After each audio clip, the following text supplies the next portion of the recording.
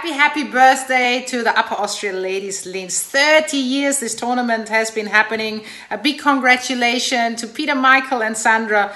It's amazing what you've done over the years for the WTA and for women's tennis overall.